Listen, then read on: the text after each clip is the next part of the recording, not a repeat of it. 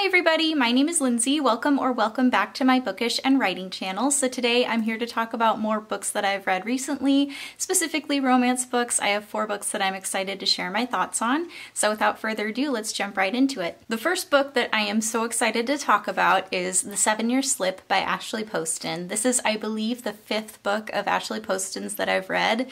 I'm obviously a huge fan, and it is Ashley Poston's newest book as well. This book follows our 29-year-old protagonist named Clement Clementine, who is a book publicist in New York. And at the beginning of the book, she's recently moved into her aunt's old apartment.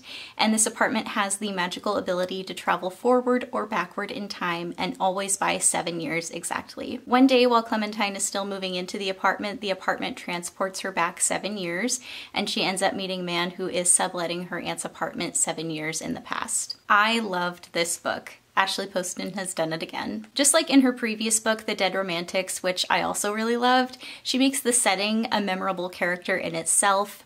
I also loved the main relationship in this book, the romantic relationship, and I was rooting for the characters. I was rooting for all of the characters. I loved the side characters, the friends, the coworkers as well and I just loved the story. It was great. The only complaint that I had about this book, which was very early on and which was resolved quite quickly, was that about one third of the way into the read, I thought we were spending just a little bit too much time in the magical apartment, and I kind of wanted to see the outside of the apartment where the main character works, what she does outside of in the apartment and at work. But after that one third mark, we spent much more time in the present day outside of the apartment, and I feel like that buildup of being in the apartment for that that long was very much worth it.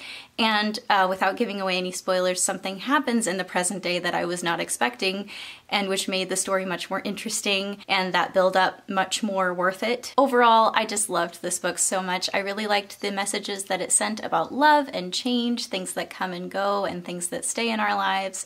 And I just really hope that Ashley Poston keeps writing romance books because I love her romance books and I will continue to read everything that she writes. So Seven Year Slip, highly recommend. The next romance book that I read was Love on the Brain by Ali Hazelwood. This is her second Women in STEM romance novel. I read her previous one, The Love Hypothesis, and like most readers, I absolutely loved it. I enjoyed it so much. I read it so fast. And I also, like The Love Hypothesis, really enjoyed this book and read it very fast. So this book also follows a woman in STEM. Her name is Bee, and she is asked to co-lead a project at NASA, which she is over the moon about. Yes, I did do that on purpose. Until she finds out that her co-leader is her arch nemesis from grad school, who despises her, and so because of that, she also despises him. So while I did really enjoy this book and read it quite fast, I did love The Love Hypothesis a lot more than this one, but I still really liked this one. I had a great time with it. The main character Bee is very quirky and funny and all of her inner dialogue kept me intrigued. It was a very interesting writing style. I really enjoyed the romantic relationship between Bee and her love interest. The only complaint that I have, which isn't really a huge complaint because I was okay with it, is that the main love interest in this story is pretty much the same exact love interest in her previous book, The Love Hypothesis. They look the same, they have the same exact exact personality type. And I'm okay with that as long as her third book has a love interest who's at least a little bit different. Like I said, overall, I really enjoyed this book. I really enjoyed the message about love and taking chances that the book had.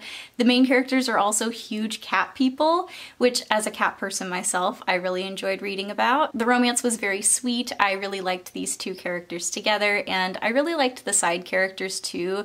They really made the story even more interesting, especially the main characters, her research assistant, the young undergraduate student, she was really funny. So if you liked The Love Hypothesis, I very much recommend this one.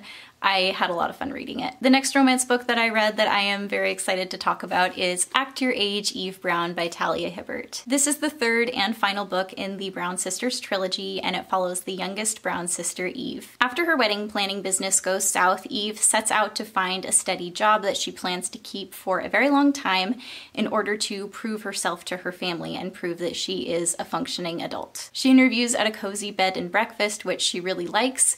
The only thing is that the hiring manager is very cranky and allegedly does not like her right away. And as she's leaving the bed and breakfast, she accidentally hits him with her car. Despite this, Eve does land the job, and so she has to work with this cranky boss that allegedly doesn't really like her that much.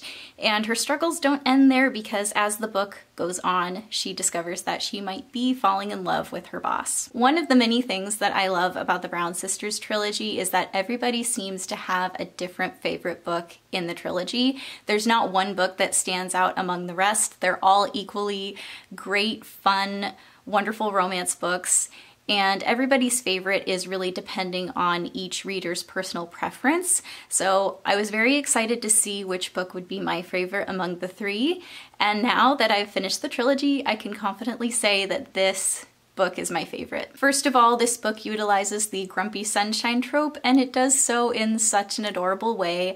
Eve and Jacob, the two main characters, are more similar than they realize, and over the course of the novel, they have a lot to talk about and they learn from one another. And I just really rooted for these two. I also loved the setting. We're at a cozy bed and breakfast for most of the book. The setting was really a character in itself, and I just really liked it. There are multiple reasons why this book is my favorite in the trilogy, but the biggest reason I think is Eve herself and the journey that she goes on. I really enjoyed this book's messages about self-love and self-acceptance and I just love Eve and I love the journey that she went on and what she discovered by the end. I just loved this book overall. It's my favorite and I highly recommend the whole Brown Sisters trilogy. Each book is different, each book is great, fun, funny, romantic, just very highly recommend. All right, and the last romance book that I read recently is Emily Henry's latest book, Happy Place, and I've already actually posted a dedicated review for this book, which I'll leave in the description. This book follows Harriet, who is a brain surgeon either in her late 20s or early 30s, and she is about to go on a summer beach vacation with her friend group. They've gone on several, and this could be their last vacation together. Harriet and her boyfriend slash fiance of several years, Win, have been broken up for months now, but still haven't told their friends. So they agree to fake date in order to keep their friend group happy and not ruin what could potentially be their last vacation together. So I've read four four of Emily Henry's books by now. Two I have absolutely adored. Those would be Book Lovers and People We Meet on Vacation. One book I enjoyed, but it wasn't quite for me, and that was Beach Read. And this book, Happy Place, falls somewhere in the middle of those two reactions. Overall, I really enjoyed it, but I did have some criticisms about it.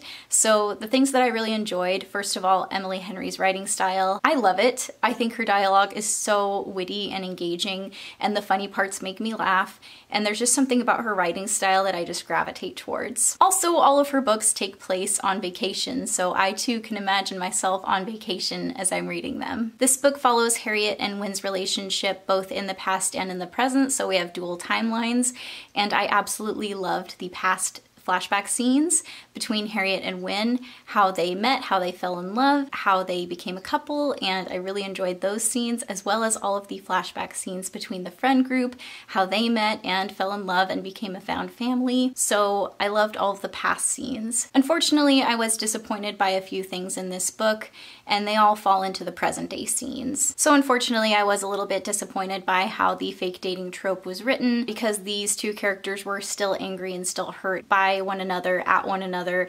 It just wasn't really for me.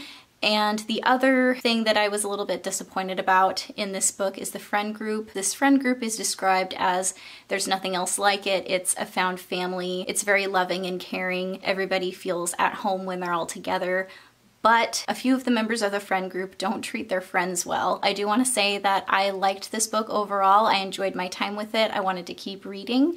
I love Emily Henry's writing style, like I said, and I love the pattern of being on vacation in all of her books, and I'm excited to see what she writes next. So those are all the romance books that I've read recently. So I want to share a little bit what's on my TBR. So autumn is coming up, and I have a feeling that I am going to go all out this autumn with decorations and reading autumnal books. So that that being said, I have some autumnal romance books on my TBR, and one of them is A Witch's Guide to Fake Dating a Demon. This is by Sarah Hawley. It sounds like such a fun, witchy, magical romance book, and I'm excited to read it this fall. Another book that I am excited to read this fall is The Bake Shop at Pumpkin and Spice. I recently realized that this is actually the second book in a collection, but I think I can read this one without having read the first book, so I'm just gonna go ahead and read what I already have. But this is by several authors, Donna Kauffman, Kate Angell, and Allison Charles. And it just sounds also very autumnal, witchy, magical with love stories in it, and I'm of course, excited to read it. And the last autumnal book that is on my TBR for fall is Blood Like Magic by Liselle Sambury. This sounds so cool. It takes place in a futuristic, I believe, version of Toronto, and it's also witchy and magical. I don't know if it's a romance specifically, but I am very excited to read it nonetheless. And speaking of romance books, the last book on my fall TBR, at least for now, is Love Theoretically by Ali Hazelwood. I'm very excited to keep reading Ali Hazelwood's novels. And that is going to be it for me today. Thank you all so much for watching this video. I hope you all enjoyed it. And in the comments, please let me know if you've read any of these books, what you thought of them, or if they're on your TBR. If you have any romance books to recommend, especially if they are autumnal, please let me know as well. And if you'd like to leave an emoji in the comments just for fun or to let me know you're here, please leave me a space themed emoji like a spaceship or a star or a planet in honor of Ali Hazelwood's book, Love on the Brain. I'll see you all again soon with another new video. It's gonna be a writing vlog. Yes, I'm back at it. I am on my second draft and I am so excited to be working on Meridian's Cat again. Anyway, I will see you all again soon with another new video. Bye everybody.